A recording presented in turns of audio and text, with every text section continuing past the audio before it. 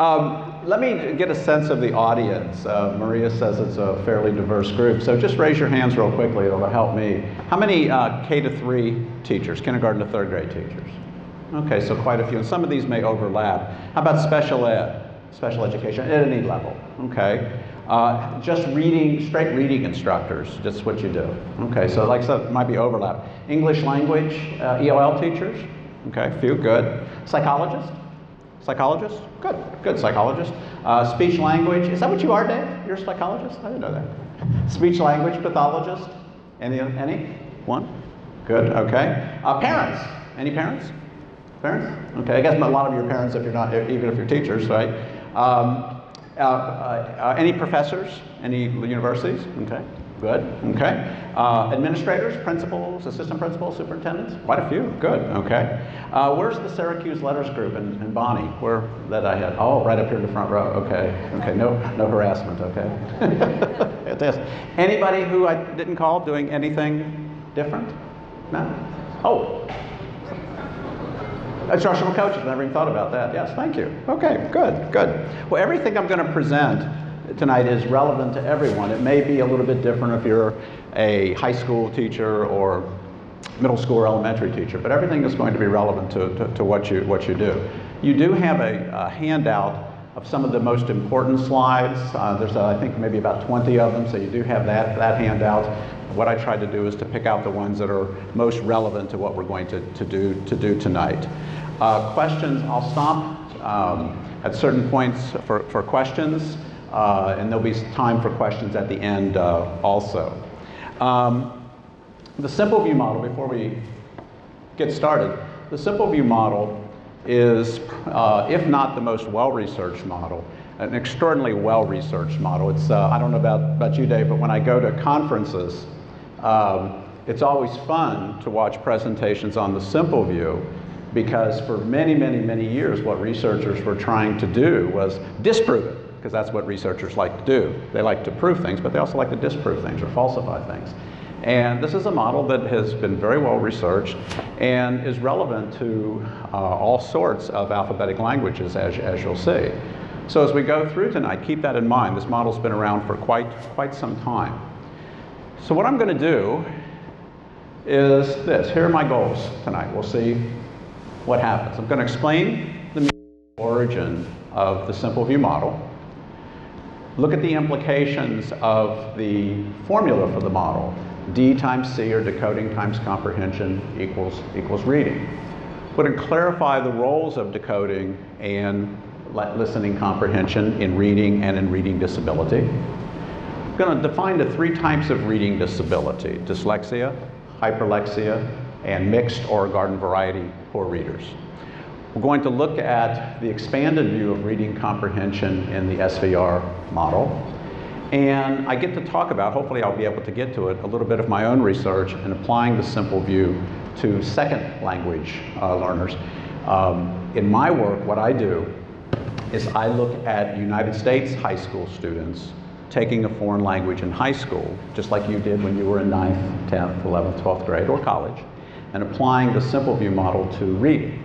For those of you who are in ELL, the model is, is similar, only it's reversed. You're trying, when you were in high school, you were trying to learn Spanish or French or German. Well, a lot of your students are trying to learn English. But the model and the research base are quite, uh, quite similar, as you'll, as you'll see. So here's the outline. We're going to go through the simple view and talk about that. Then we'll talk about expanding the simple view. The simple view isn't as simplistic sometimes as, as it seems.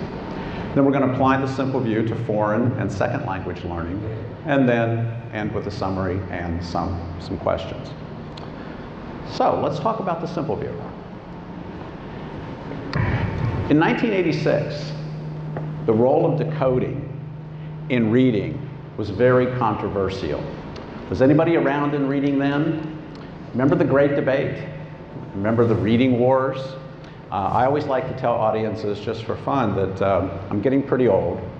And so far, there's only one good thing I've found about getting old, and that is when something happened a long time ago, you were there. well, I was there. I was there. I remember the reading wars.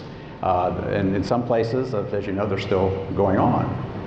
But the role of decoding in reading was very, very, very controversial at that time.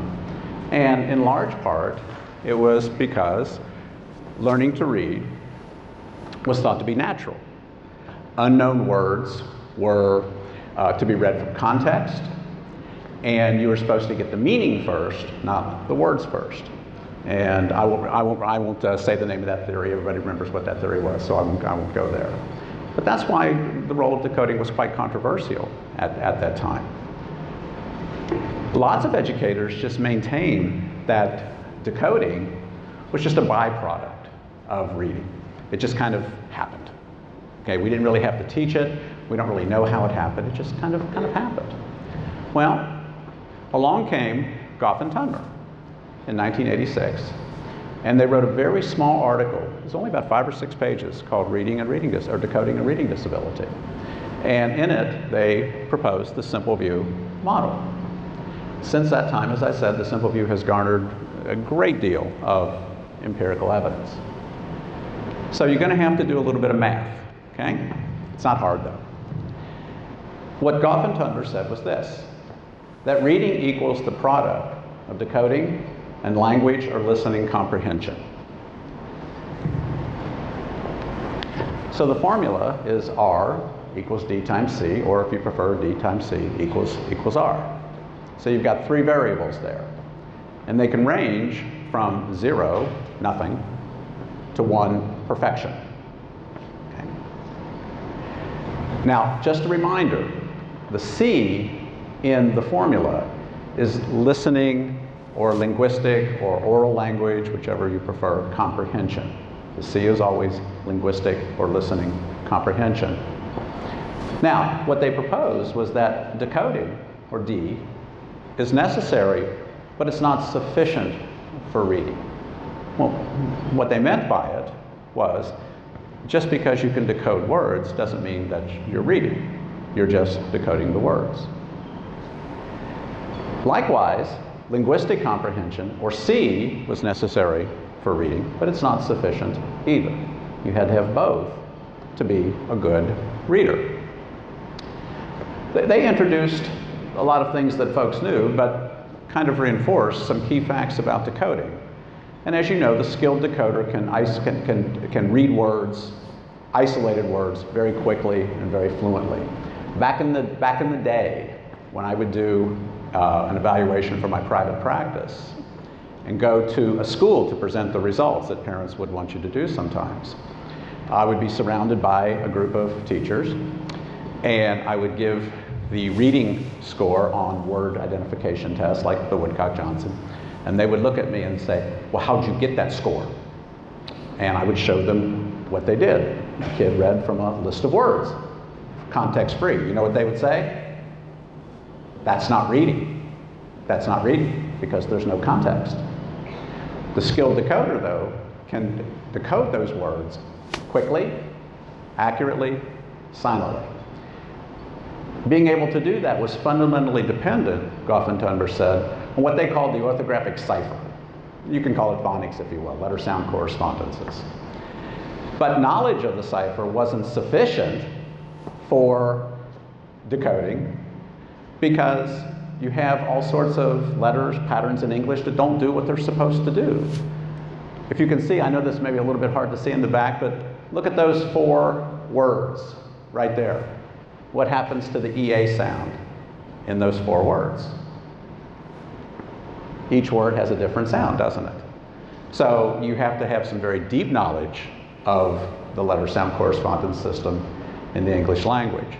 And Gough and Tunmer maintained that the purest measure of decoding was the ability to read pseudo words. Take a moment, just read those to yourself.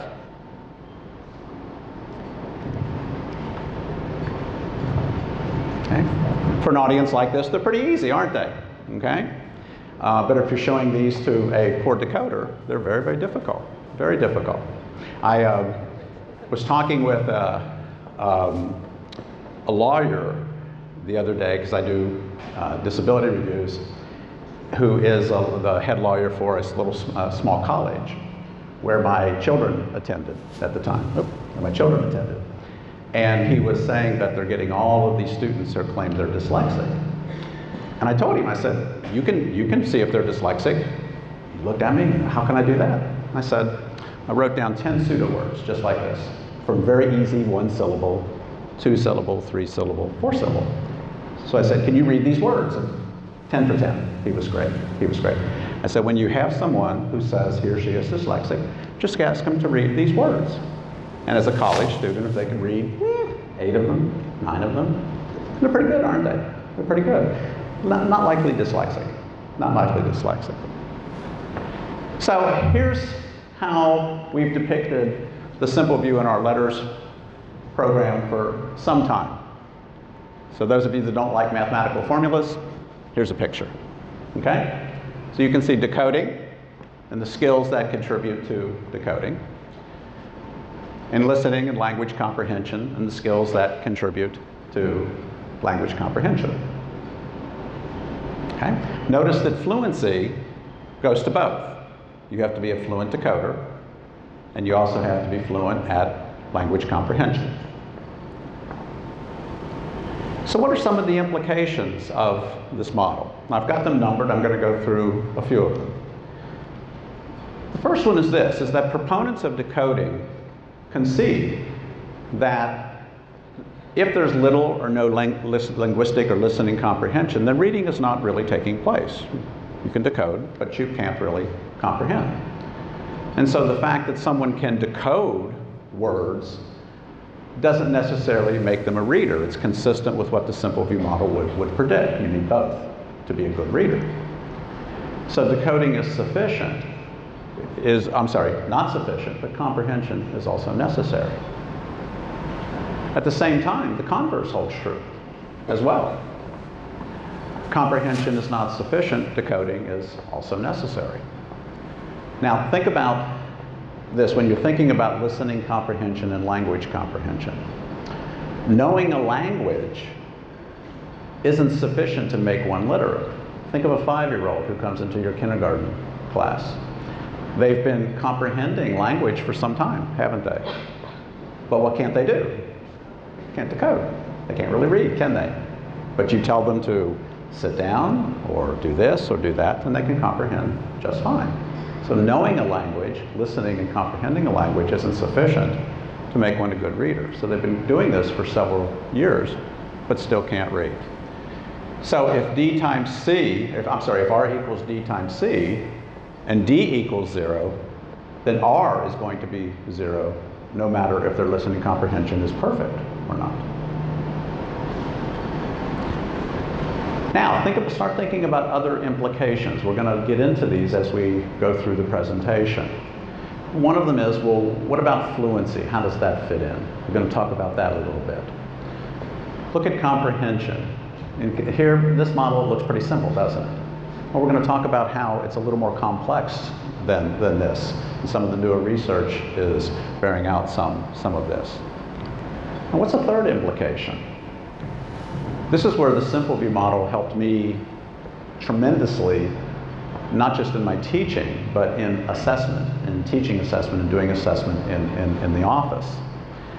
The simple view model clearly maintains that reading ability should be predictable from a measure of pseudo word decoding and a measure of listening comprehension. R equals D times, times C.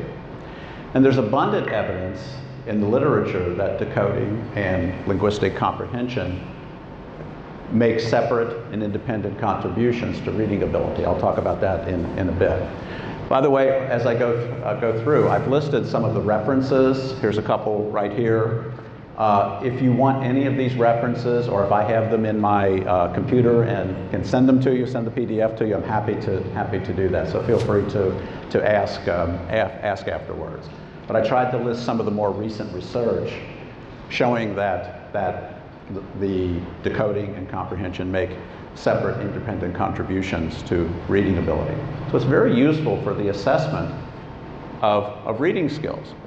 Likewise, and a lot of you already know this, is that there's abundant evidence out there in the literature that word decoding explains the largest amount of the variance in explaining the acquisition of reading in the early grades and the variance in children's reading comprehension skills in the early grades. Decoding is extraordinarily important in order to be able to explain how kids learn to read. But as the child learns to decode words, listening comprehension begins to explain more and more and more variance in reading comprehension skill. Decoding is strong at the beginning in the early grades. Listening comprehension and the skills there begins to be a more accurate or higher, better predictor of comprehension. And that shift usually occurs, according to the Language and Reading Research Consortium and some newer research, around that third or fourth grade. Those of you who are a third, fourth grade teacher know that you begin to see that shift as long as a child can decode, then listening comprehension, vocabulary, and the things that make up that skill begin to kind of take over. Now, here's one of the, I think, the best things about the simple view. Fourth implication is in Gough and Tunmer's article back in 1986, they made the prediction that there would be subtypes of reading disability. So there are four kinds of readers according to the simple view. Four kinds of readers, three of which are poor readers. Since good reader, good reading, I'm sorry, can only result from decoding and comprehension, there could be different kinds of reading problems. Inability to, what happened? There. Inability to decode, inability to comprehend, or both. Inability to decode and inability to comprehend. Gough and Tunmer called the inability to decode dyslexia. They labeled the inability to comprehend hyperlexia. And the inability to decode, and that should say, by the way, I just noticed that in the slide a little while ago, inability to decode and comprehend, not or comprehend, and comprehend. They called it the garden variety reader, which has come to be more uh, the mixed reader, mixed poor reader. Now let's talk about each one a little bit, and then we'll show you how it works in assessment and then in instruction. With dyslexia, the common denominator in every case of dyslexia is the inability to decode. That's the common denominator in a poor reader who is labeled as dyslexic. Every dyslexic is a poor decoder, but they have good oral language comprehension. Not perfect oral language comprehension, good oral language or listening comprehension even as far back as 1979 with Frank Vellutino and a lot of other researchers looking at kids who were poor readers in the fourth grade, the fifth grade, the sixth grade, found that kids at, those at that level didn't know the simplest letter sound correspondences. So this research has been with us for some time. And what are the reasons they lack decoding skill, according to the simple view of reading? And that would be because they have difficulties with phonological, phoneme awareness, and phonics or letter sound correspondences. So that was the first type of poor reader. So if you go back to the simple view,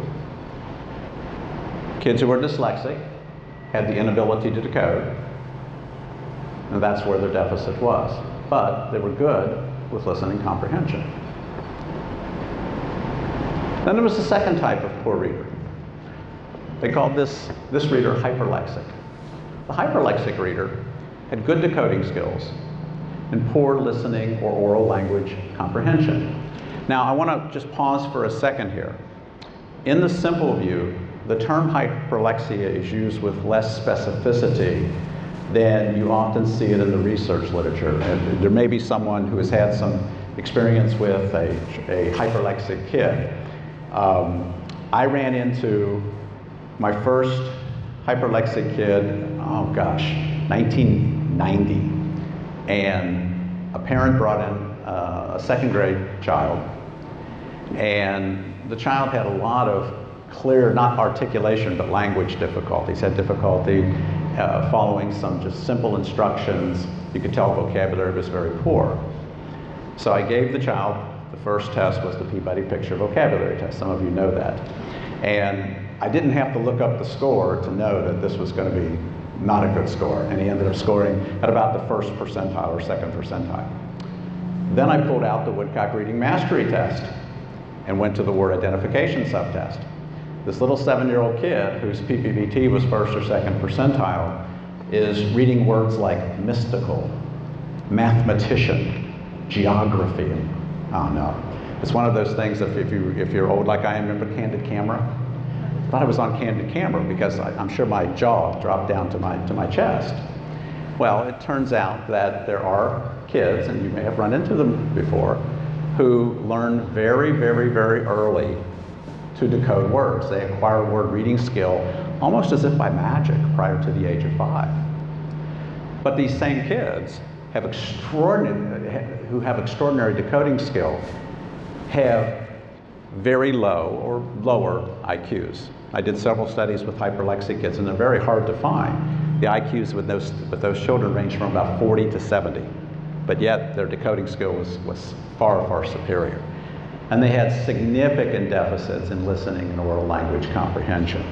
So Gough and Tunmer were using this term just to describe a type of reader who decodes well but has difficulty with listening comprehension. They're not those true hyperlexic kids that have those, those deficits there.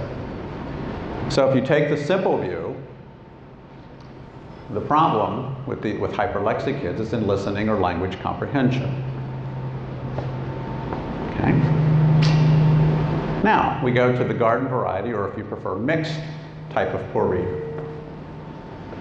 Here, this particular type of reader has both poor decoding accompanied by poor oral language comprehension. This tends to be the majority of poor readers that, that we see. But it's important to remember as you're thinking about this that the existence of dyslexia and hyperlexia show that skills in listening comprehension do not necessarily have to be accompanied by skills in decoding. You can also have kids who are good at one and not good at the other. But in the mixed poor reader, they have poor difficulties with both. Okay? So, with the garden variety or mixed poor reader, their deficits are in decoding, their deficits are in language comprehension. So, both components of the simple view are problematic. Okay? Now, I like this chart because it kind of gives an overview of what we just did. Okay? So here, here's what you have. You have the four types of poor readers. Let me get my clicker in this hand, see if I can do this. Can you see the red dot? Okay. So we have the four types of readers, including the good. Decoding times language or listening comprehension equals reading. Okay? So the good reader has good decoding, good listening comprehension. One times one equals one. Told you you had to do a little bit of math. Okay? The mixed, poor decoding, poor listening or language comprehension. Zero times zero, zero. The hyperlexic good decoding, poor listening or language comprehension. One times zero, zero. And then the dyslexic, just the opposite. Zero times one equals zero. Now, I always like to just point out very quickly, zero is intended to show nothing. They don't have those skills at all. One, perfect. But that's not the way kids are, as you well know. So I've just kind of made one up, okay, using other numbers. So let's take the good reader. He's good at decoding, isn't he? But he's not perfect. It's 0.8. Good at listening comprehension, but not perfect. 0.9. 0.8 times 0.9, 0.72. Does that make sense? You can see the garden variety, 0.2 times 0.2. But the interesting ones are the hyperlexic and the dyslexic. Look at the hyperlexic. Wonderful decoding. Absolutely wonderful. But very poor listening comprehension. And then the dyslexic, just the opposite. Okay? Does that make sense to, to everybody? Okay. So testing the theory. When we test the theory, what happens? Well, the simple view takes the position that decoding and listening comprehension are both essential to reading. But think about this. Are there individuals who can decode and comprehend language but not read well? Are there kids who can decode but not comprehend language and still read well? And then are there kids who could neither decode nor comprehend but they still read well? One of the things I always ask folks to think about when I'm doing LETRS and presenting this is this. All of you have kids in your classroom who have been diagnosed with a smorgasbord of initials ADHD, ODD, OCD, XYZ, GHI, right? All sorts of things. The question is do those kids fit into the four types of readers that we've talked about, talked about here? And the evidence suggests that yes, a kid who has ADHD could be any one of those four types of readers. A kid who has oppositional defiant has terrible behavior problems could be one of these four types of readers. They may be able to read well, they just won't do it. He can, but he, but he won't. All of us have had those kinds of, of kids. The existence of those individuals would falsify the simple view of, of reading. So think about that a little bit.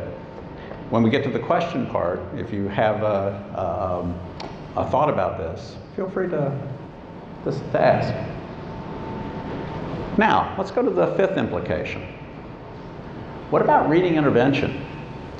Well, the simple view clearly asserts that, the read, that reading skills will only improve by improving the weak skill. Reading skills don't improve by accommodating the weak skill. They improve by working on the weak skill and increasing it. So the model shows exactly where to target your intervention for improving the skills of the four of the three kinds of, of readers. So let's take a look at that slide we just looked at a moment ago. Look at the garden variety or the mixed poor reader. Which skills would the simple view assert need to be improved? All of them. Decoding and comprehension. For the hyperlexic reader, which skill or skills need to be improved? Listening comprehension, language comprehension. And for the dyslexic, decoding, decoding. So the simple view is pretty clear about that. Reading improves by improvement in the skills that are causing the reading problems or the reading disability. Now, what about reading instruction? Well, all of us know that we should address both components or all components in a good reading program. Multi-component programs tend to get better results than single uh, uh, component programs. But there are some students, as uh, Aaron, Joshi, and others have maintained, that do benefit from a specific emphasis on the weak skill in their, um, in their program. The decision should be based on your data, and if you're uh, a school psychologist or someone who does the testing, the decision of where to target your intervention is going to be based on the results of, of your testing. So what I like to do when uh, parents, when they bring a, a child in to see someone like me, it could be a first grade child, it could be a fourth grade child. They want to know why is the child having reading problems and what to do about it. But parents are skeptical because lots of people have often tried lots of things. And what they want to know is, is where should this tar- the instruction be targeted? So what I try to do when parents come in is exactly this. I'll test the child, decoding, listening comprehension, phonological awareness, letter sound relationships, vocabulary, as we'll talk about, background knowledge, listening comprehension. So I can show the parents that you might have a child who's very weak in decoding, very strong in listening comprehension. And the parents generally know that because the child doesn't have multiple, to any, really any difficulties with, with listening comprehension, language, verbal memory, but they can't decode the words. And that's what's holding them back from doing well in school. So let's pause here and talk about this a bit, and you could ask a couple of questions if you, if you have them. So, why is this model helpful, helpful, in my view, for teachers? So take a minute. I don't know if everybody knows each other or not. So take a minute, turn to your neighbor, and talk to her or him and answer this question Why is this model helpful, in particular for teachers? Go ahead, talk for a couple minutes. What I'm going to do, what I'm going to do is I'm going to give you the easy answers, and then Doreen has a microphone. If you have another one, raise your hand. She'll come around, and you can give your answer to the question. Mine are pretty simple. Why is this model helpful for teachers? Well, oh, I forgot. Did you tape? Oh no. There we go. Why is this model helpful for teachers? Well, I'm going to give you the easy answers. The first one is it's simple. It's simple. And as you'll see in a few minutes, it's evidence based. That's the nice thing about it. Second, it identifies the locus of the student's reading problems. It says this is where the problem is. And third, it tells the teacher where to target her instruction. There are kids who, be, who benefit if they have decoding issues, who, who benefit, as you well know, from targeted problem or targeted methodologies or, or interventions in decoding. So, what are some other advantages? Raise your hand. Doreen will come around and you can say. Don't everybody talk at once, okay? I can't hear you. Who has one? What's another advantage that you see from this model? Go for it. Here, guys, she has a microphone. It's hard to refute Very well said. And why? Why is it hard to refute? because it's so simple. Ah. the simpler, the better. Simpler, the better. Okay, it's hard to refute, and you'll see again when we talk about the evidence, it is even harder to refute. Who else? What else? Right? So it helps us to talk to parents um, about what the problem is and to also fellow teachers, um, the staff in the school, so we can better explain what we're looking at when we're looking at children and we don't have to talk in generalities so much. So that would be very helpful. Very I good. think. Very good. Helps you to talk to parents. And, and I think with me in the office, the simple view and the kind of testing that we do, it does make my job very easy to talk with parents. It does. You're right. You're right. That's a good one. Anybody else? This, oh, go. There you go. It illustrates how we have to focus on the deficit area to improve and just continuing to focus on the strength area Okay. won't get it done. Yeah. And we don't stop teaching the strength area, but you're right. Focusing exclusively on that's not going to get it done. Good. Well said. Well said. This side of the room, you're letting everybody down. Come on. So- Somebody over here? Anybody? No? Okay. Okay, good. Oh, here, wait, here we go. Here we go. One more. One more. No, no, go for it. Go for it. Um, I think it illustrates a hierarchy of how all the components of reading fit together, and it's easily explainable as well. So we have to have all pieces of that puzzle together in order for it to be successful. Very good. Very well said. Nice job. Was somebody else? Yes. She's got it right there. Using statistics, statistics, I think is better word. When have less variables, you're gonna get a pure, pure Yeah. output. Yeah. She was just saying, looking at fewer variables helps us to what understand uh, what to uh, not only what reading is and what it's not, but but what, what to do. What to do. Good. Very good. Well said, everybody. Thank you. Go ahead. Uh, It's where? empowering for kids to, to know what Oh. their weaknesses are. Oh, there you are. I'm sorry. I'm sorry. Go go ahead one more time. I'm, I'm looking around. Go No. I think it's, in addition to explaining it to parents, it's helpful for kids to know why they're struggling. It's empowering for them. Yeah. Let them know. Good. Well said. Good answers, everyone. Excellent. Excellent. Excellent. Now, what's some support? We talked about evidence-based a moment ago. What's some support for the SVR model? Well, we've had lots and lots of studies. I've just put a few of more of the more recent studies up here, but there's many, many, many, many, many others.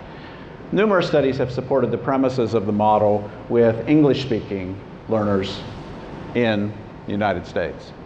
Researchers have also found that decoding and listening comprehension make separate and independent contributions to reading uh, skill, to reading comprehension. Hence, you can have a kid who doesn't decode well but has good listening comprehension, or vice versa. And the skills, when we, when we, Maria had asked me when, when I talked about separate and independent contributions, what does that mean? What it means is that the skills that predict decoding are not directly related to listening comprehension. They help you to comprehend when you read, but they're not directly related to those skills. So if we think about this for a second, hopefully this will, this will make sense. If you look at decoding, the skills that predict decoding, phonemic awareness, phonics, or pseudo word decoding, are not the skills that predict listening comprehension. You can have very good pseudo word decoding skill, very good phonological awareness skill, but still be poor in listening comprehension. Those are the skills that predict decoding. Language comprehension, you have other skills that predict language comprehension. I always ask kindergarten and first grade teachers to think about that little kid who comes in and within a very short period of time, well, you can tell he or she just has a marvelous spoken vocabulary, just phenomenal. And you start working with them and they have very poor phonological awareness, trouble learning letter sound correspondences, hence trouble with decoding. So the point is, is that they make separate and independent contributions to reading, and you need decoding, you need listening or language comprehension to be a good reader. Now, what are some other studies that support the SVR model? Well, this model has been tested in different languages. I've just listed a few of them here, um, more, more recent ones. Norwegian, Swedish, French, Hebrew, Dutch, all of these different kinds of languages have tested the simple view and found that it predicts just like it does in, in English. And other studies have found that the model explains reading development in English language learners, in ELL children. And that is that both listening comprehension and decoding make separate and independent contributions to English reading. Studies with language minority children have found exactly the same thing that we find in all of these other studies.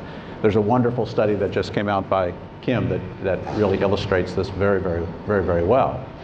And other studies, another study that just came out recently too, other studies have found that listening or oral language comprehension is the most powerful predictor of reading comprehension as children get older. Now, what are some challenges to the SVR model, to the simple view model? And there have been some. Some researchers have hypothesized that as text reading becomes increasingly demanding, that even good word decoding and good listening comprehension may not allow for really good reading comprehension. One hypothesis has been this, and this is re research has been going on for some time. One hypothesis is, is that fluency might be a separate component or explain unique variance all by itself in reading comprehension. So instead of the form, instead of the formula being D times C, some people have, have hypothesized that it's D times C times F, fluency equals reading. And the research on this is really kind of equivocal. There have been studies that have, been sh have shown that fluency can explain unique variance in reading that can't be explained by decoding and listening comprehension. And then there have been other studies which show no, that, that, that's not. So this is still kind of an open, open question, and people are still doing research on, on this. Another challenge has come from um, Tunmer, who was one of the original folks looking at the simple view, and his colleague Chapman. And they've hypothesized that word decoding and language comprehension do indeed make separate and independent contributions, but that vocabulary itself may make an independent contribution to reading ability or to reading comprehension. And their findings have, have shown that although the model D times C remains intact, that vocabulary in their work has made an independent contribution to um, um, to reading and language comprehension. This was true, I won't get to it in, in mine, but this is true in, in uh, a couple of studies that we have done, where in looking at high school students in the US taking Spanish, that decoding and comprehension uh, took up uh, listening comprehension, took up almost all the variance in reading comprehension, but that vocabulary by itself explained about 3% of the variance in reading comprehension, all by, all by itself. Not a lot, but enough to explain a little bit more about how well kids comprehend. And so here again, the research is kind of equivocal on this, but it is a challenge to the model. Is vocabulary and is fluency going to make separate and independent predictions? So this may be a good point right here before we go into the next section. Does anyone have a particular question that you'd like to, to ask? And we can bring around the, around the microphone if you'd, if you'd like. Something you don't understand or just want to ask a little more in depth besides what I did here? So, in the back there.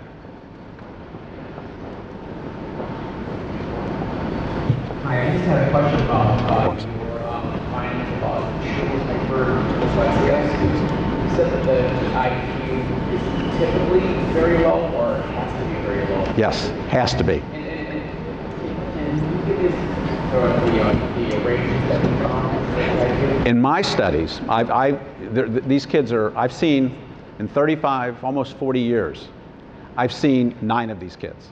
That's how rare they are. Nine. Other people may have seen, seen more. The, kid, the age range, I'm sorry, the IQ ranges of the kids in my studies were 40 to 80. And I had one kid that I, I um, tested and tried to include him in a study in, in one of my papers on hyperlexia, and the individual had an IQ of 95, had to throw him out because it wasn't, it didn't meet that criteria. So is that, yeah. Anyone else? Want to ask? Oh, there we go.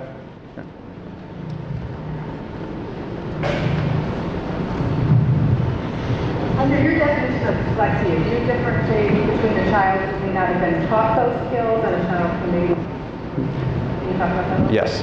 Well, there's this, I, I- I kid, but there is another type of, of reading disability, and of course that's, uh, some people will jokingly call it uh, either uh, non-teachia, meaning the child hasn't been taught, or if the child's been in school for a while but hasn't been taught, they'll call it dysteachia, as you, as you know.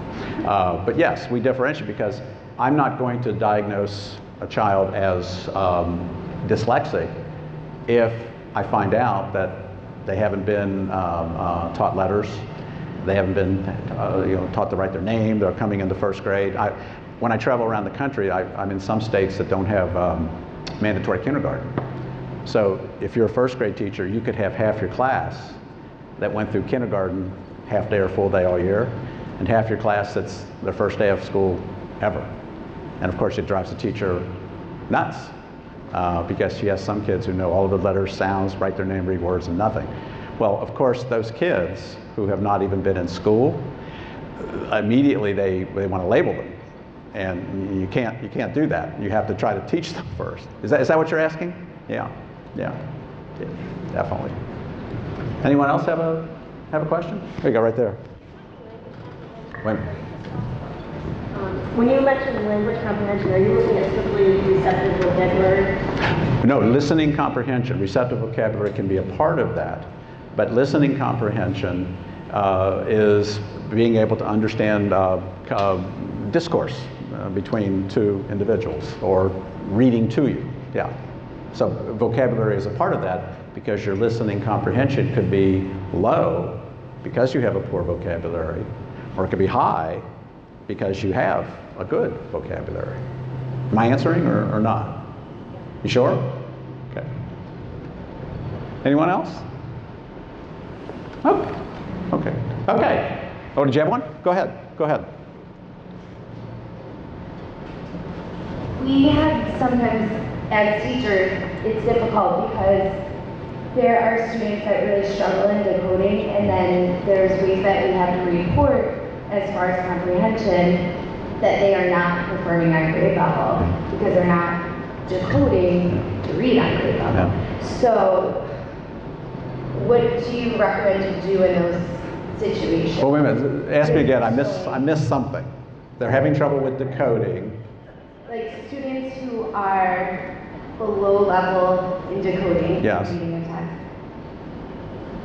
Um, sometimes we're being forced to report that they're not Oh, oh, oh, oh, oh, okay. I, I missed the forced, I missed the forced to read Yeah. part, yes. When they Well, are strong well, at comprehension, but it's Right. not really. well, I can only tell you, I'll tell you what the simple view would say. The simple view would say, if you have a child who is indeed a poor decoder, and that's been identified as the um, uh, primary difficulty, the, the poor component of reading, but yet you know for whatever reason that listening comprehension is strong, the simple view would assert that if you want to improve the child's reading, you're going, even if he's being quote forced to read text that you know he can't read, someone is going to have to work on the decoding to improve that skill so that eventually he can read that text that he's being quote forced to read. Am I am I responding? Is that I don't want to. It's kind of separate, like, chicken situation, just as Yeah. as reporting purposes. Yeah, well, that- that's- It's yeah. where that's Coming because Yeah. it's not giving always an accurate picture to the parents Yes. that are reading that. Yes. Because they're looking and saying, oh my gosh, they're below in everything, Right. where that is not necessary. Not, not necessarily true, right? Right. It's- You're saying they are suffering. Yeah, the simple view would, would suggest that it's the decoding issue that would need to be um, um, remediated. Yeah. Okay, let's move on to expanding the simple view of reading. Um, David, I don't know if you were at, when we were at SSSR last year in Halifax, I don't know if you were at Hugh Catts' uh, session where he's doing a presentation. He's one of the foremost researchers in the simple view, and he got up, and his first uh, um, session or first thing that he said was, "I am so tired of talking about the simple view of reading." Well, that's not quite what he meant. Okay, what he's what he was saying was this. He's saying that we've made the simple view, we may have made the simple view too simple. And there's lots of new research beginning to come out which is suggesting that one part of the simple view may not be as simplistic as we think it is. So researchers are beginning to look at, Catts is one of them, Kim and some others are beginning to look at it, and they're beginning to suggest that the simple view may not be as simplistic as we've presented it. Because the simple view, as you can see by looking at the model and listening to what I've presented here, is suggesting that decoding and listening comprehension are equal in complexity and in their malleability, their ability to teach. And these researchers are proposing that the simple view may have been made too simple because language comprehension, the C part of it, is more complex than perhaps we've, we've thought. And so they're beginning, beginning to look at this. Well, we know that poor comprehenders generally display oral language difficulties. There's abundant research to, to support that. However, poor comprehenders' difficulty uh, with comprehension goes beyond oral language and listening comprehension, is what is being, being proposed. For example, if you follow this topic, you've probably read that researchers have found that poor comprehend, comprehenders have difficulties with working memory, with inferencing, they lack background knowledge, other things that contribute to listening comprehension. But the simple view model doesn't explicitly specify those subcomponents, does it? When you looked at that model, D times C, and what predicts decoding, what predicts comprehension, you don't see background knowledge in there. You don't see working memory in there. You don't see inferencing, inferencing in, in there. We already know that vocabulary makes an independent contribution, so we've got that in there. So what researchers are suggesting is perhaps the comprehension part of the simple view may not be as simplistic as we thought it is. So what they've been working on is identifying those subcomponents of language and listening comprehension. Uh, there's a lot of work coming out of, of the Language and research, Reading Research Consortium uh, that has been doing some of this work, and others are doing uh, lots of other work. And so they've been looking at what we talked about a moment ago fluency and vocabulary. But more research is necessary, they're saying, because reading comprehension uh, is not unidimensional, it's not just one dimensional. Instead, it has lots of components, it's multidimensional. So let's take a look at some models of this and what people are proposing. The first one has been around for some time. And I was talking with someone, who was it? Oh, there, that's it. She's going to get up and explain it in just a moment, right? Right? Yeah. Uh, is Scarborough's reading rope. You may have run into this in uh, uh, maybe Dr. Murray's class, who knows? Well, the rope, what it does is it depicts the components of both decoding and comprehension. And for the purposes of this, I'm going to focus on the, the comprehension piece. So in the reading rope, comprehension includes several subcomponents. Not just vocabulary, but also background knowledge. Now, background knowledge, I, when I teach LETRS mod 6, a big part of LETRS mod 6 is background knowledge. And lots of teachers will, I, will teach back, I'll say background knowledge and I'll get this, hmm, what do you mean by that? So what I tell them is get out their pencil, get out your pen, okay? I'm gonna give you a very technical definition of background knowledge. You ready? Stuff. You know a lot of stuff, okay? I ask you, what's the capital of North Dakota? And you say what? Very good. What's the capital of Maine? Florida. Tell me one country, one country that's north of India. China. Okay? And I could keep asking, asking questions, and I do that in, in, in, the, in, in the LETRS. I have about 20 terms picked out, and I say, if you, if you know this, and be honest, raise your hand, raise your hand if you know this term. And if I have an audience of usually it's about 30 or 40, you'll have five people that know this one, but then another five people know this one, a totally different five people. But you just know stuff. And I remember, first time I remember that I was learning stuff was fourth grade. We had to memorize the 50 states and all their capitals. And that was in preparation for the fifth grade because in fifth grade, our fifth grade teacher was teaching this terrible subject called geography. Remember geography? And he gave us a map and he, of the United States. And he said, Remember in fourth grade you learned about all the states? Well, there's a blank map here. The states are in, right in every state and its capital. You're going, I just got off summer break. You want me to do this now? That's background knowledge. That's stuff. And it built from there. It built from there. Well, background knowledge is one of the subcomponents that allows us to be a good comprehender. Another one is knowing grammar, syntax, semantics. Another one is verbal reasoning, inferences, metaphors, and literacy knowledge, knowledge of certain types of genre, poetry, mysteries, fiction, nonfiction, etc. So if you're familiar with Scarborough's rope, looks like this. Now, you have that on your handout. It's one of the slides I put in there. I know the, the print's a little small, but hopefully you can make it out. But the language comprehension piece that I'm going to focus on is at the top here.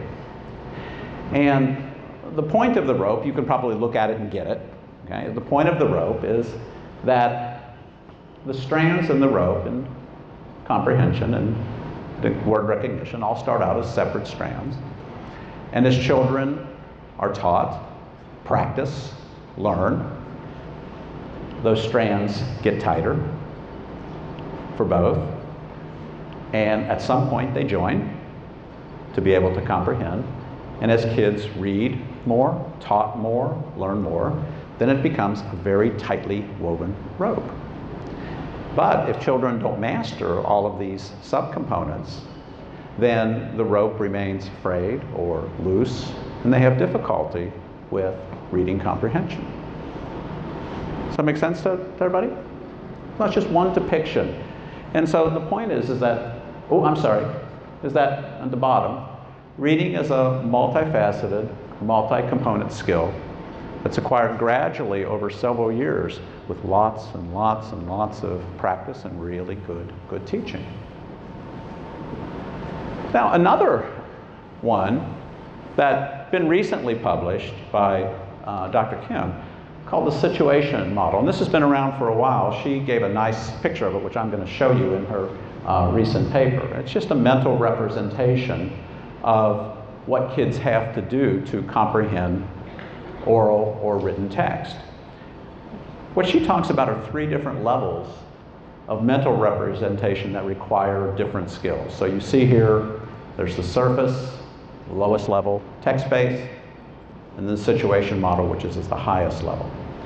In her paper, she depicts it like this. The surface code are those foundational language and cognitive skills that you need for everything. Vocabulary, you don't just need vocabulary for reading, you need it for math, you need it for other things, you need it for science. Grammatical knowledge, you need grammar for all sorts of things. Working memory, you need it for everything. Attentional control, you need attention in everything.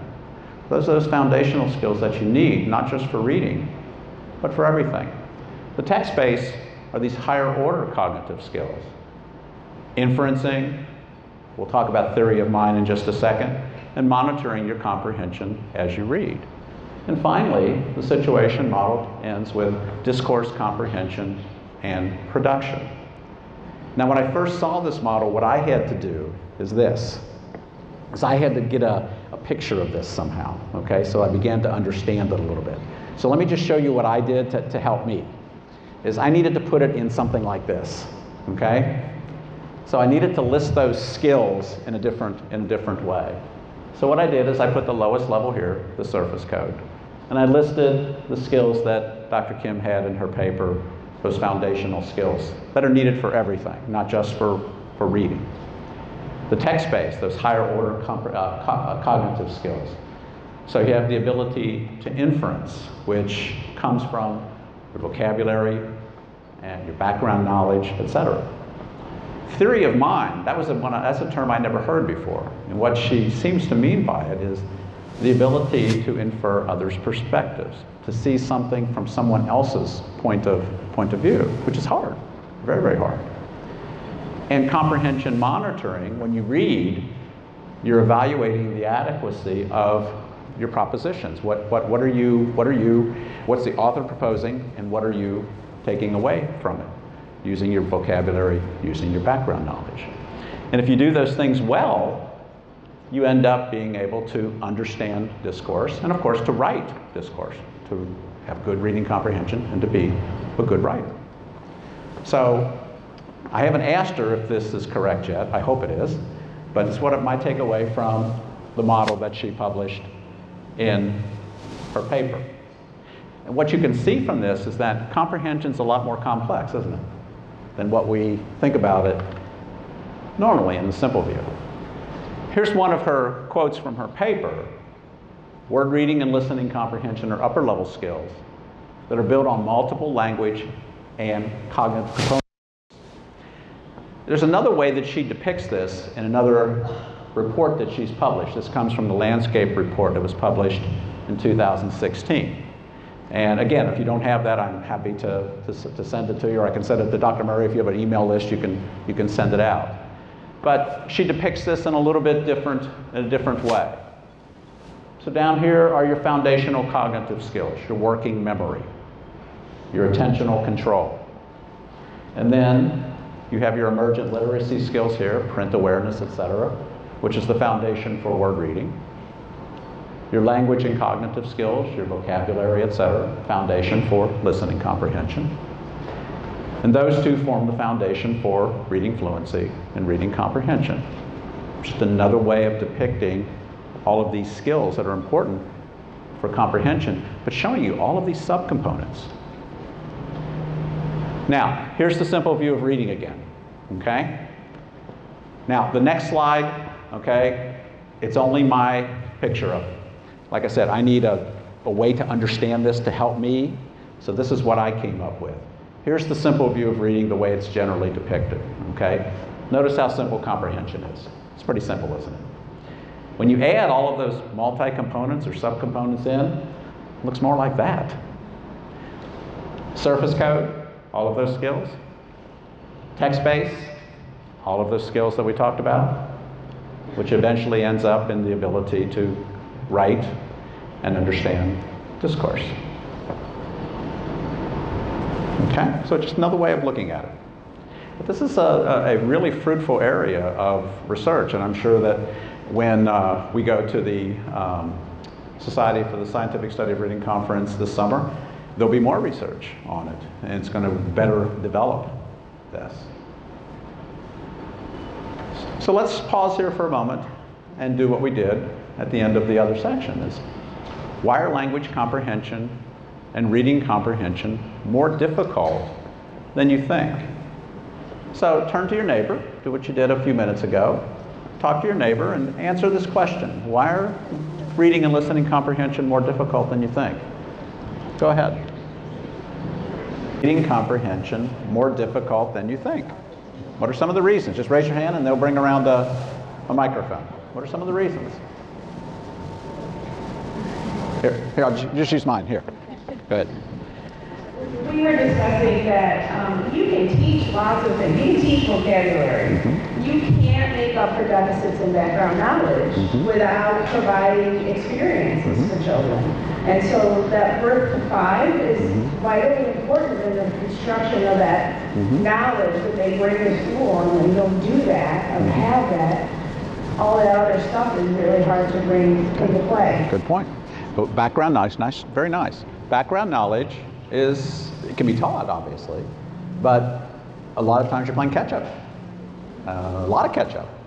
And so it's very difficult to um, put all of that or stuff all of that knowledge in there. Yeah, good point. Else? Why are reading and language comprehension more difficult than you think, based on what we've talked about? Here.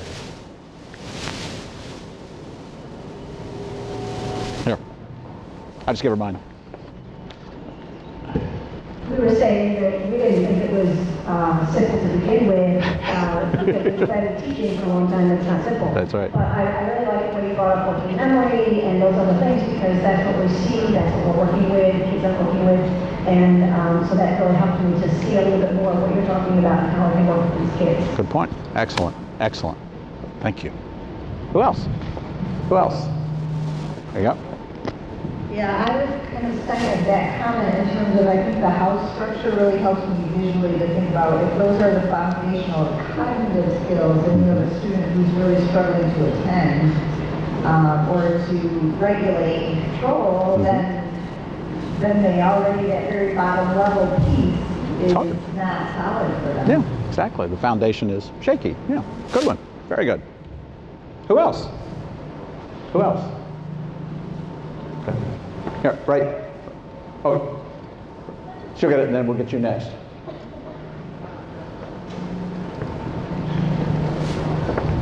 We all have loud voices. With the background knowledge that we bring, uh, we're all constructing different ideas and bring different ideas to this. So going back to the mathematical model, I mean, this is U point nine, point eight. Two people that are point seven twos may be so because of different reasons. There you go. So everyone's a little different, everyone's gonna walk out here with a little bit of different knowledge constructed after listening tonight because of what we brought in and what we'll take and do with it as leading. Excellent observation. Very good. You know what always, I, I understand it now, but when I was in, oh, in my 20s and 30s, there's the Supreme Court, right? There's nine votes. And they're supposed to be making their decisions based on the Constitution. And I always thought if that's what they're doing, why isn't every vote nine to nothing? That's exactly why. They're reading it and understanding it in a different, in a different way. Yeah.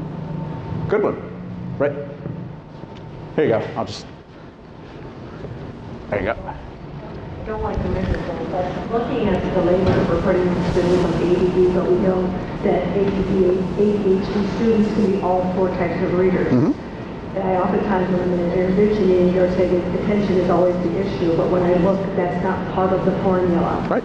And my other concern is that I'm really seeing a lot of students who are, the the decoding piece is in place, but the comprehension component isn't. And we quickly go to the auditory processing disorder, and Right. I'm really concerned about that. Right. If you could expand that. Right. We were we were talking uh, about the the notion of auditory processing, and uh, what I'll suggest, and if there's uh, anybody else that wants to, to chime in, uh, the research shows that auditory processing is a is a very problematic concept, a very problematic diagnosis. It's got a lot of um, of um, difficulties, um, and one of our colleagues has published a very nice paper on, on that uh, in school psychology journals talking about all of the difficulties with that particular concept.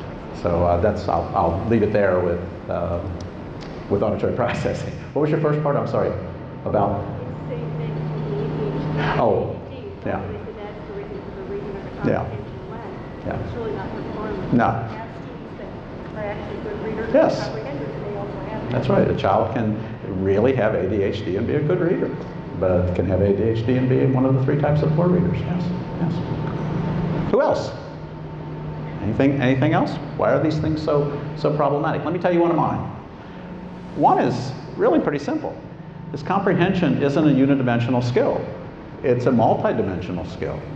When you think of a child who has a comprehension issue, there's lots of things that it, that it could be. It's not just understanding language, there are other components that, that fit in there.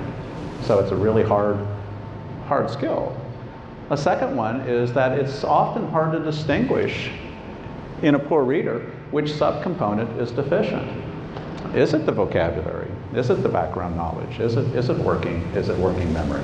The one thing that, that I can um, say clinically is that when I see poor comprehenders in the office, good decoders and poor comprehenders, and who have that hyperlexic profile, what I always see with those kids, whether they're third grade, whether they're sixth grade, whether they're high school, is they have um, deficits in vocabulary and background knowledge. Those two things in particular. There could be other things too, but those two in particular always, always stand out.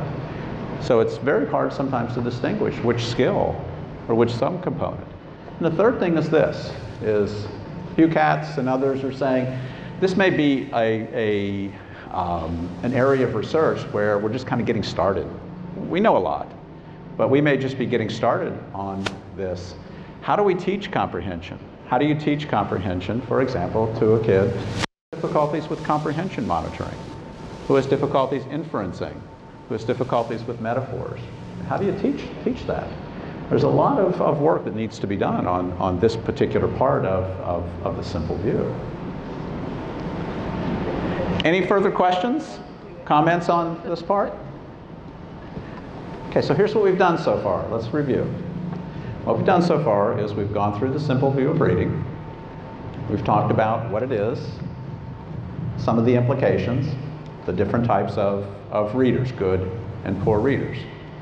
And in the first part, we made it out to be pretty simple. In the second part, we said, well, it may be not quite as simple as we think it is, specifically in the area of language comprehension. It's a lot more uh, difficult, has a lot more components than perhaps we've thought. Now, let's go to the third part. The simple view of reading applied to foreign and second language learning. And again, for those of you who are English language ELL teachers, what you're going to have to do, but you can do this, you're going to have to take what you do and turn it around. I'm going to be talking about students in the United States, high school students, taking, in this case, Spanish, but could be French, could be German, and you have students who are perhaps native Spanish speakers, and what they're trying to learn to read, write, speak, spell, comprehend is, is English. So you're going to have to take this research and, and turn it around. But what I would suggest to you is that the findings from these research studies and the implications are uh, quite similar to what you're facing and what you're going to have to do with your English language learners. So what I got interested in was this, is 30 years ago, we started encountering high school and college students who were average or better students who were really struggling with foreign languages in high school and college. Now, you have to understand one thing. Neither I nor my colleague, Leonore Ganschow, when we started this, we don't read a foreign language, we don't speak a foreign language, we don't spell a foreign language, we can't comprehend a foreign language, okay? I can do simple Spanish words and simple Spanish sentences, but that's about it. What we do is we research foreign languages, and when we need to test foreign languages. We have these wonderful colleagues, Spanish professors, French professors, who do that type of work, work for us. What we became interested in was why? Why are they having such difficulty? Because they're smart kids, right? We would see kids with these very high IQs who were having great difficulty, not, not necessarily failing, but great difficulty with, with Spanish or French or German. So we've been researching this for about 30 years. Recently, I started applying the Simple View model to these students. Now, let's think about US students first, because there's a lot of contextual things that go in, into this. And there's some, they're, in some cases similar to some of the contextual things that your ELL students face, but, but again, there's some differences. United States, we're largely a monolingual society. Uh, how many, show of hands, how many of you in the room speak, comprehend, read, write a second language fluently? I rest my case. Three I saw? Three? Yeah, three. Okay? Now that wouldn't be true if we were sitting in, let's say, Germany or the Netherlands. I spoke at a conference in the Netherlands, oh gosh, many years ago, seven, seven, seven or eight years ago. I was the only person of all the presenters who spoke one language. And everybody else spoke two, three, four. There was one person who spoke eight different languages. It's different elsewhere. So one of the problems is that we live in a mono, largely monolingual society. There are areas of the country that you can go to that, that are um, more multilingual, um, but not many. The second, second thing is this, is that we don't start largely looking at foreign language or studying foreign languages until high school. Now, that sounds pretty silly, but that's the way it is. There are some immersion programs for younger kids, but they're few and far between. They're not many. The other problem is that in the United States, we study foreign language as a subject. You have to pass two years of foreign language to do whatever, three years of foreign language to do whatever. It's not studied to become fluent or literate, it's studied to pass a course and get a credit and graduate. Uh, it's the rare student who takes it for, uh, to become literate or fluent. So there's a lot of differences here. Nonetheless, we can still study what happens with US learners trying to learn to read and comprehend another language. So in alphabetic languages, we've already talked about this, I won't, I won't uh, belabor it, is the simple view asserts that R equals D times C. You know what the simple view is. The, the, the assertions would be no different for those of us trying to learn Spanish or French or German in, in high school. So I've published several papers on this. If you're interested, I'm more than happy to send them to you. I've published about five or six papers on this in uh, foreign language journals, foreign language annals, Hispania, the study I'm talking about now is, was published in the Journal of Learning Disabilities earlier um, this year. How many US students, how many US high school students have a foreign language reading disability? And you probably know the answer to that, but I'll wait and surprise you at the end. Of, at the end. So, and then another one that we just have, have, uh, have coming out. So here's what we did. Okay, I'll go through the, the study fairly quickly. What we did is we had a random sample in one school district of United States high school students taking Spanish. There were 800 students. We randomly sampled. We had a little over 300. Okay? And we followed them through three years of Spanish, the ones who completed three years. So we followed them through first year, second year, third year. There are the numbers of students who complete. You notice what happened. Look at what happened.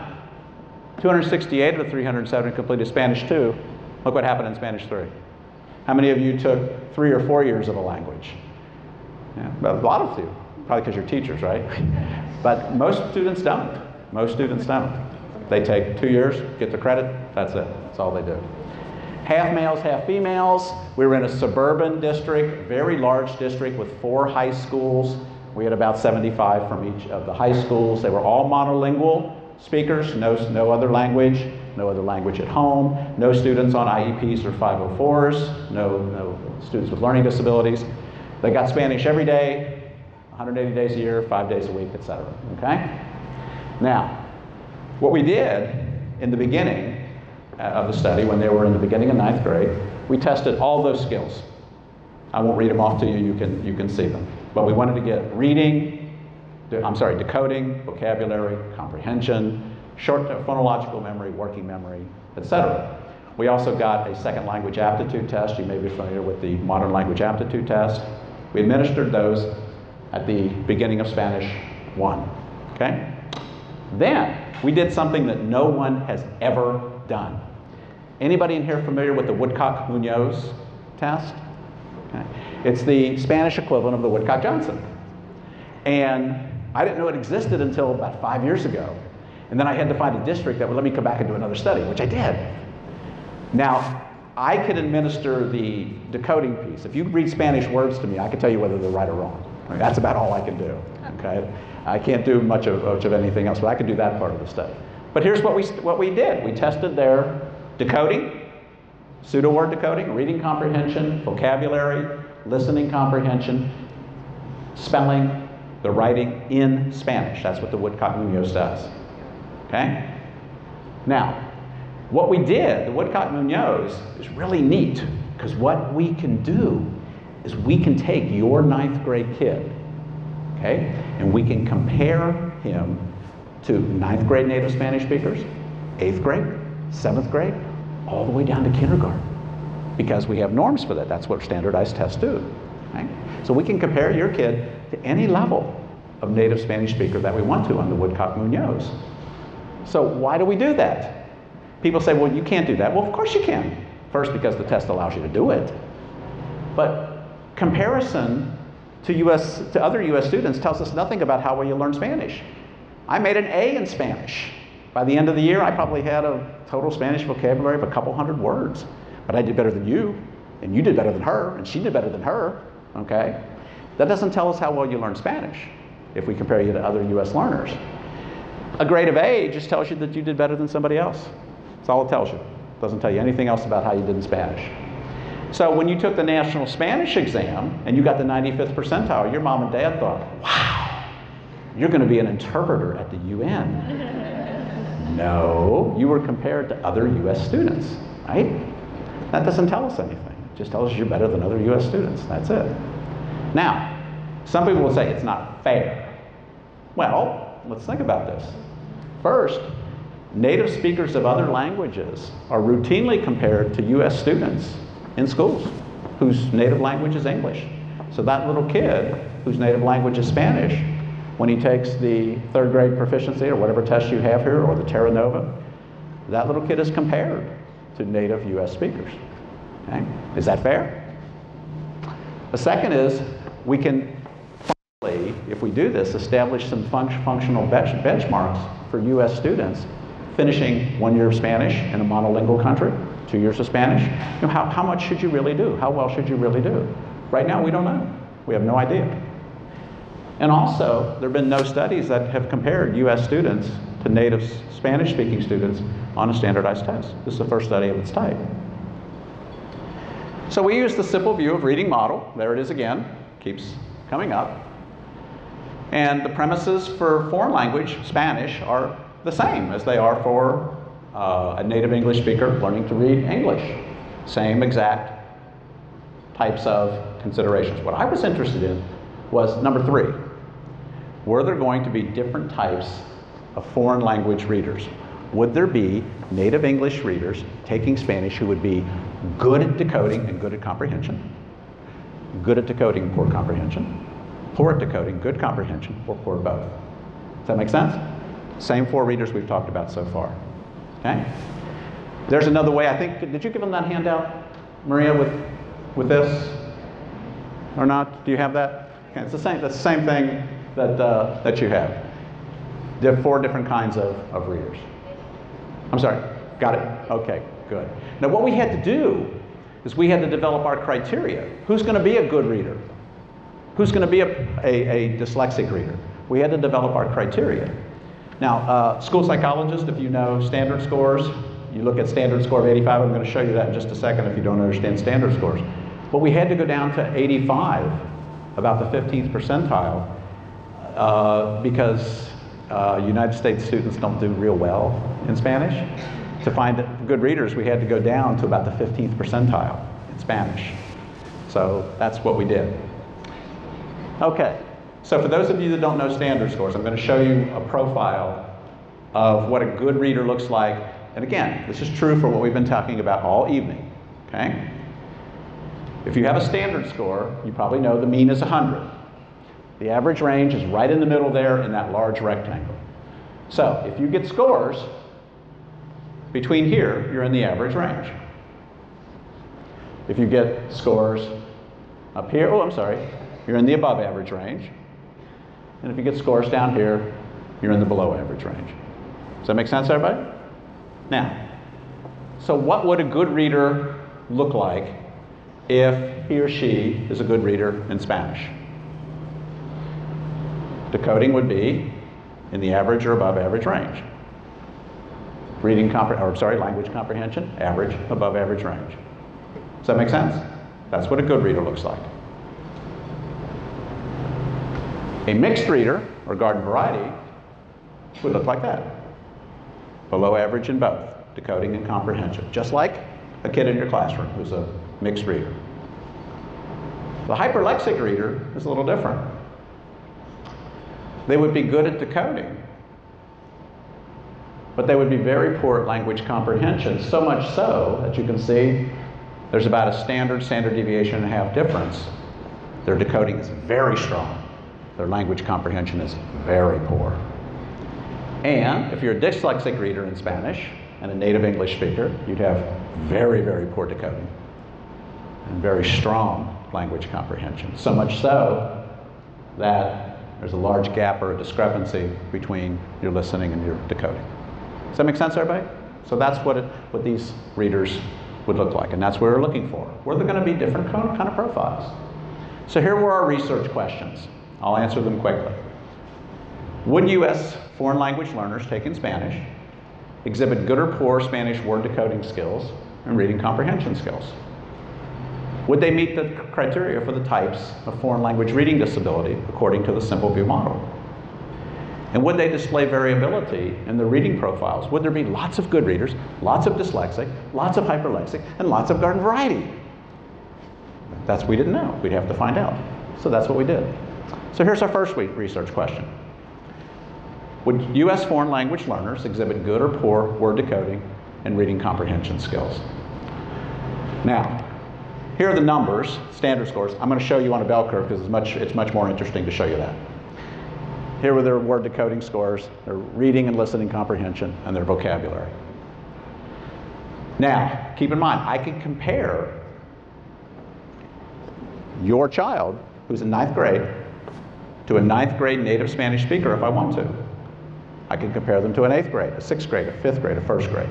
So what I've done here is to show you what US readers look like on average when they're compared to different levels. So watch what happens. We take a ninth grade United States monolingual English speaker who's completed three years of Spanish, three years. If we compare them to ninth grade norms, to ninth grade native Spanish speakers, there's their word decoding, there's their listening comprehension, there's their reading comprehension, and there's their vocabulary. What do they look like compared to a ninth grade native Spanish speaker? You can say it, it's okay. Really awful. Really awful. Now, let's compare them to sixth grade native Spanish speaker. Watch what happens. Decoding, listening comprehension, reading comprehension, vocabulary. What skill improved? What didn't move? And everything else, comprehension and vocabulary. Now, let's take a ninth grade, uh, I'm sorry, 11th grade now, finishing three years of Spanish, and compare them to a third grade native Spanish speaker. Watch what happens. Decoding, comprehension, comprehension, vocabulary. What improved? What didn't improve? Okay. Okay, so let's go to first grade. So now, a student finishing three years of Spanish who's a junior or senior in high school is being compared to a six year old native Spanish speaker in first grade. Does that make sense? Here we go. Decoding, listening comprehension, reading comprehension, vocabulary. Okay? Does that make sense? ELL teachers, just think. We don't, we, we've got a few studies coming out using these kinds of, of, of models with English language learners. And while the difference isn't that severe between decoding and comprehension, there tends to be a rather large difference between the decoding skills of an English language learner and the comprehension of an English language learner. And the primary, not the only reason, but the primary reason is that last skill that you saw appear. Okay? Vocabulary. That's where it's at. Is they don't have enough English vocabulary. Sense, everybody? I was telling someone beforehand, I don't know who I was talking to about doing the testing in Israel. Who, who was that? Someone, yes. I uh, was in Israel, been in Israel three times in the past few years. The last time I was there, last uh, uh, two summers ago, I was I, I want to do a research study there similar to this. So I want to give native Hebrew speakers, native Arab speakers, English language test, vocabulary, reading, but use the norms to compare them to native English speakers. Does that make sense? So I did a little pilot study. I had a couple of dozen college students who were going to be EFL teachers, college students in, in Israel. 12 native Hebrew, 12 native Arabic. I gave them some reading tests, but the, the, the test that told the answer was the Peabody Picture Vocabulary Test. Remember, it's normed on US speakers. The highest score of any of these 24 college students when compared to native English speakers their age was fourth percentile. Fourth. That would be, we'll see what that X is for reading comprehension. That's where it would be, right there. And so my colleague, who's the professor there, is just shaking her head. She can't believe it. So she said, my daughter is in the top level of Israeli school. She's a senior. She's going to be going to college. She won't score that low. So I took it home. We gave it to her daughter. She was right. She didn't score that low. She scored at the eighth percentile. Eighth. And this is a top level student. It's the vocabulary that seems to um, be, if not the main, the major culprit in hindering language comprehend, listening comprehension and reading comprehension. Does that make sense to, to everybody the way I've, I've explained it? So English language ELL teachers turn that around, okay, with native Spanish speakers or other language trying to learn English. Okay? Second research question. Would U.S. foreign language learners meet criteria for types of foreign language reading disability according to the Simple View model? This was fun. Here are the scores again, but you don't really care about that. Okay? Here's what, here's what we found. Here were the types of readers. At the end of year one, remember we had 293 students who finished Spanish 1. Here we compared them to ninth grade native Spanish speakers, eighth grade, seventh grade, sixth grade. What was the primary type of reader that almost everyone was? Hyperlexic. Because they could do what? But not comprehend very well. Exactly.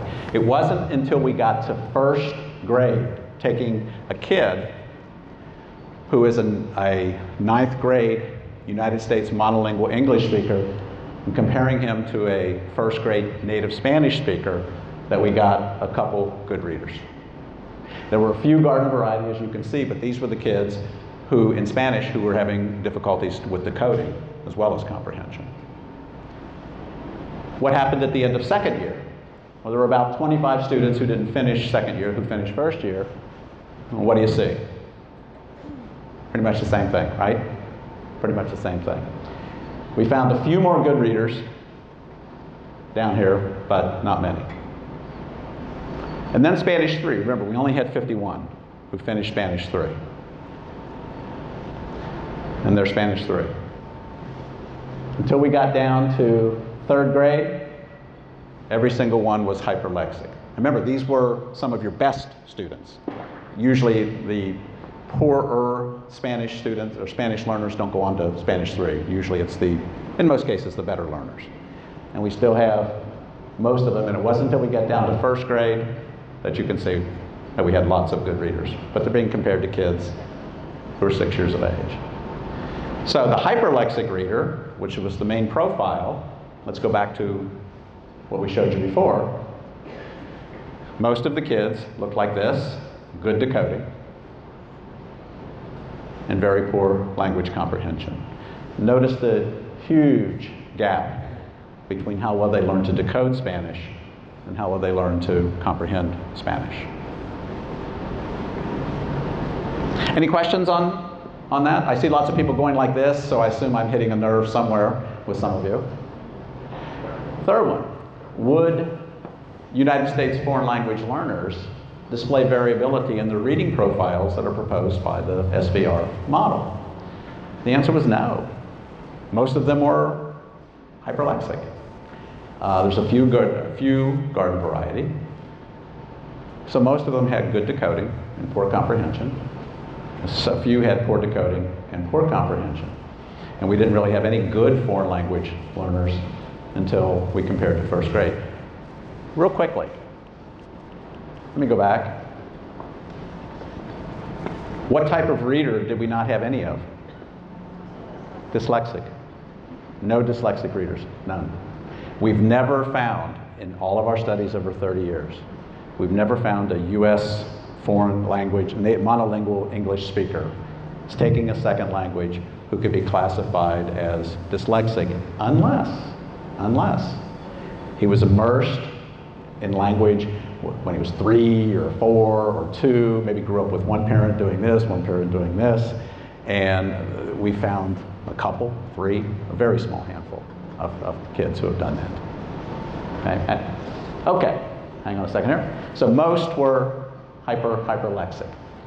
So what are the implications? Now again, I'm going to, for ELL teachers, I think the implications are similar, not quite the same, okay, but similar to what you're dealing with. Just like in first language, L1 reading research that we covered earlier, the model provides a very coherent explanation for foreign language reading or English language learners, um, uh, young English language learners in an alphabetic writing system.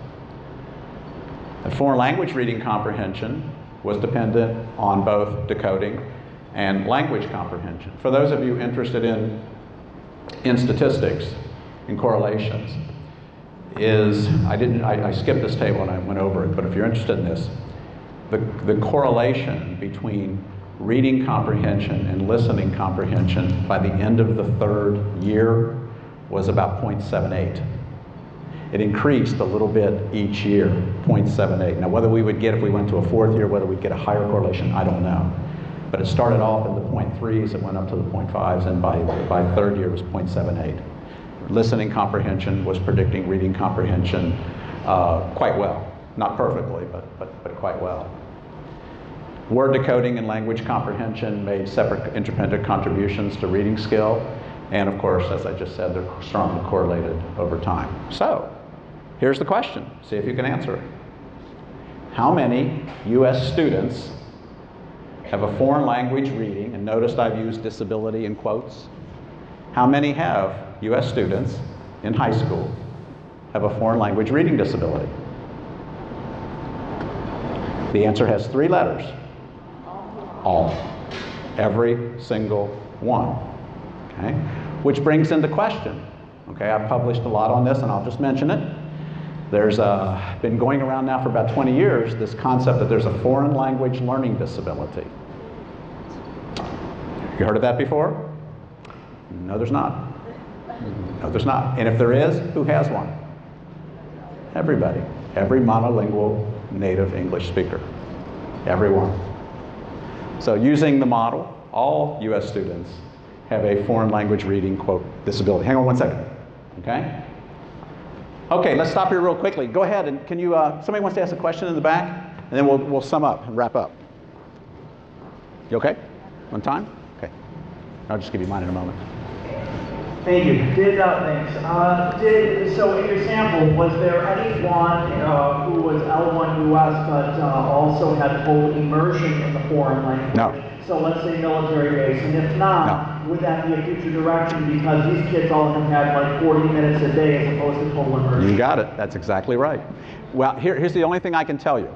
No, this was this was not on a military base or anything like that. It was a, a typical suburban school district in a Midwest city. Okay, as as as as uh, monolingual as you can get. Okay, um, but if you look at studies from students who have had immersion in elementary school, let's say K to 6, K to 5, what they do with those, you may be familiar with this, is they do these um, criterion reference test, uh, they call them proficiency tests with the ACTFL guidelines, right? The, the OPIs. And what we, what we're, what, if, when you look at that research, they don't do standardized tests, but if you look at that research, it's suggesting something similar here. They learn to decode and spell English, or I'm sorry, the foreign language pretty well, if it's alphabetic. But their comprehension is not very good. Their language comprehension, the reading comprehension is not very good. Um, the problem is, is no one's gone in with a standardized test like this. They use these OPI ratings, which are not, I mean, they're okay. What we have, and we haven't even gotten to this, we have so much data on this, we haven't even gotten to this yet. Every student here was given an OPI, that's an oral proficiency interview. So eh, are you, are you native Spanish or native? Native, oh, not, okay. Okay, so let's say that I'm a, that I say I'm a, a Spanish professor, native, native Spanish or not. An oral proficiency interview, proficiency interview is like this. You come walking into a room, we're by ourselves. And I come in, and I explain to you that we're going to have a conversation in Spanish, and I'm going to speak in nothing but Spanish. Okay? And I can't do that, so we're going to do it in English. so I start off and I say, What's your name? My name's Christine. My name's Christine. Hello, Christine. How are you? And, you're supposed, I'm and, doing well. and she's supposed to answer nothing but Spanish. Okay? And then I take the interview up and up and make it harder and make it harder and make it harder. And we take Christine to the point where that's it. She can't go anymore. And then to make her feel good at the end of the interview, I bring her back down, okay? Okay, and ask her like things, things like, how old are you? And you can do that, right? That's an oral proficiency interview. Now, every one of these students got that. What we're going to do, and we haven't started it yet, is we're going to take those scores on the oral proficiency interview and uh, put them together with their Spanish vocabulary, Spanish listening comprehension on the Woodcock Munoz, and get an idea of what age level they would be at. So we don't know yet. We'll find out. We'll find out. It's going to be interesting. Um, so that's a good question. Very good question. Somebody else here. Uh, It's okay if you say no, but I'm wondering if you have any hunches about how all of this applies to um, our ENL students who come to us from a non-alphabetic native language, and if you have any hunches about the implications of phonics instruction for that group. Here would be my. Oh, did everybody hear a question? Here would be my hunch, and I know just a little bit about it because I spoke uh, with a group of people at a conference for a week in Hong Kong last summer, and of course, uh, Chinese students are learning English, and what they're finding is in the comprehension aspect, uh, it's the same. They have to learn vocabulary, they have to learn the grammar, et cetera, and that plays, um, uh, that plays a very large part of how well they learn to comprehend English, whether they're reading or listening. In the decoding piece, one of the things that they're, they're finding is that Chinese students can learn to decode English just fine if, they, if they're taught well. But as you might suspect, it's harder to do because they don't have an alphabetic, alphabetic language. And even by, there were a few deans there from some of the universities, and even some of those college students coming into those universities were still having trouble with the decoding of the multisyllabic words. But even if they could decode the multisyllabic words, what was hindering their progress was the academic language, knowing the meaning of it. So that's, that's about the extent of my knowledge in alphabetic languages. I learned a lot over there, but, but that's not my specialty. So I don't know if that helps or, or not. Anyone else? Did you have a? Yo, right there. What implications would this have on um, how New York State is looking at the multiple pathways for graduation? specifically students with IEPs taking a language. Yeah. Especially if they have decoding deficiencies, which it seems to be that we test or teach more often in those classrooms. Yeah. Um, lots of implications. How's that? Did I get out of that okay? Lots of implications. Um, here, I have to be careful because I write a lot about this, and it's, I have to be careful what I write in journals and what I say. The, the, the, the primary problem is, in my view, is going to be what's going to be the standard for passing, because you can see what happens right here. I mean, what's going to be the standard for passing? If you have a, and I'm assuming you're talking about monolingual English students, right, speakers, I'm sorry, taking a foreign language, whether it's Spanish or French or whatever, you can see what happens here. And with students with poor language skills, special education or otherwise, it's going to be incredibly difficult. So what's going to be the standard for passing is, is my question. Uh, that would be, to me, that would be the primary implication. Um, there's lots of other implications, which I really won't say out loud, but I can talk to you personally or privately about those. But anyone else on, on this, this research?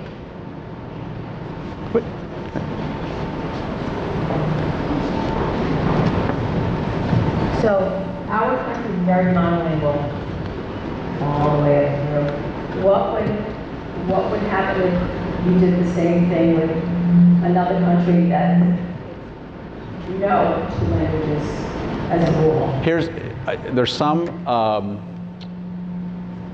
some work being done by Esther uh, Geva in uh, Toronto, and I've looked at some of her things.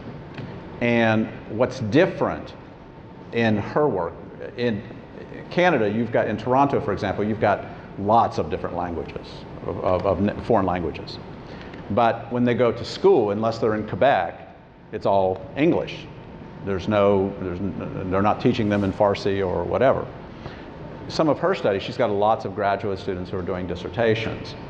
And then she's published some work on her own. What they're finding is they learn, if taught well, they learn to decode the, the English language. Some struggle, sure.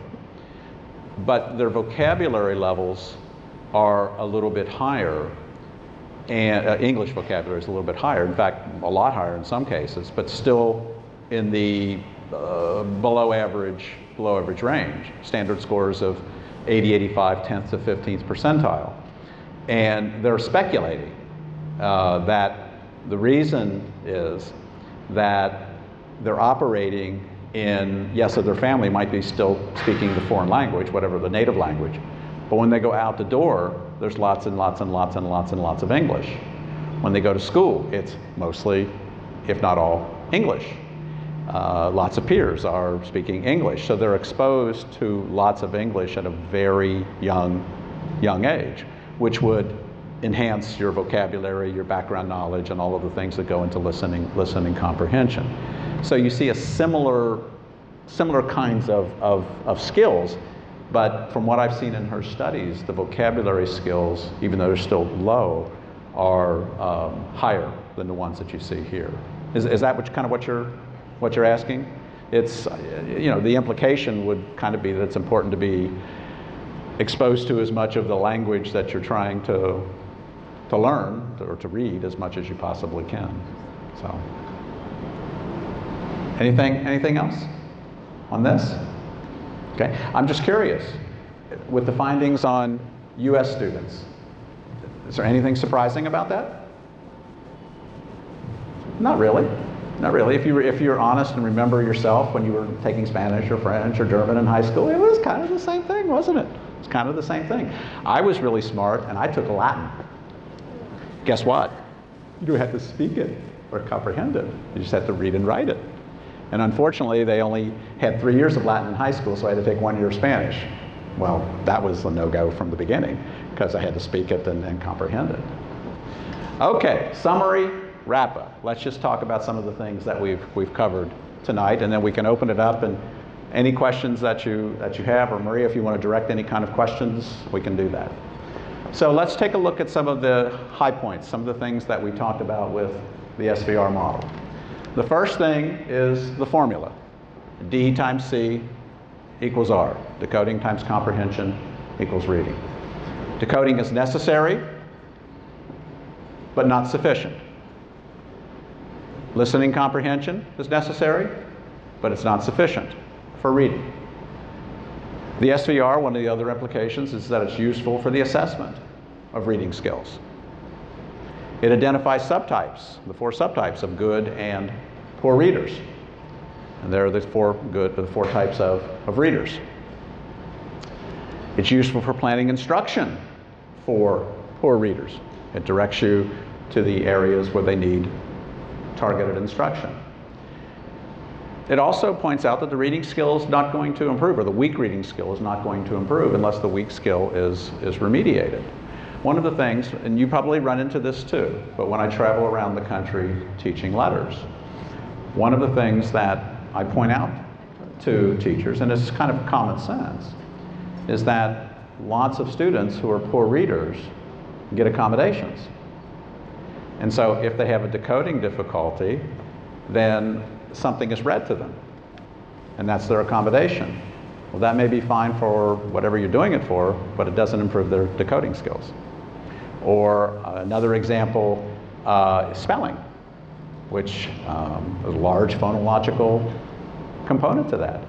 And so I'll have teachers ask, is a good accommodation for spelling giving them a multiple choice spelling test? You have a word, you spell it four different ways, can you pick the right one? The answer is no.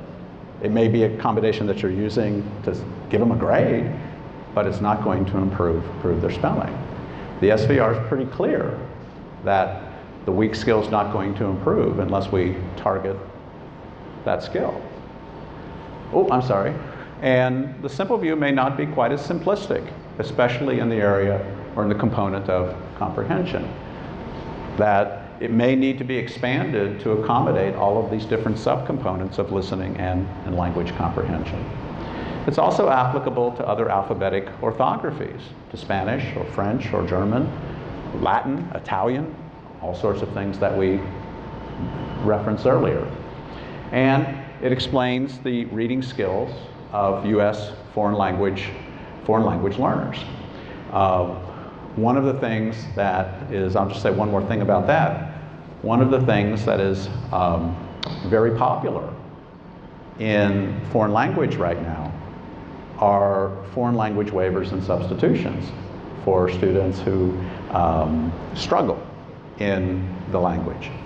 And the only way, in most cases, I won't say this is true for every school and every college, but in the ones that we've looked at, and we've looked at them pretty extensively, the only way to get that waiver or that substitution is you have to have a diagnosis of learning disability in your first language.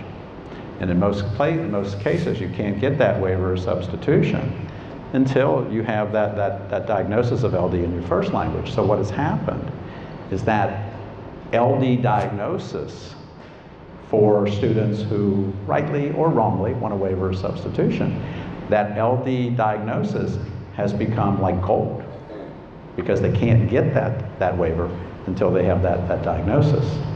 So we encounter this, this um, quite a bit, quite a bit. Okay, well thank you very much. I appreciate it. Thanks very much. Thanks for your attention.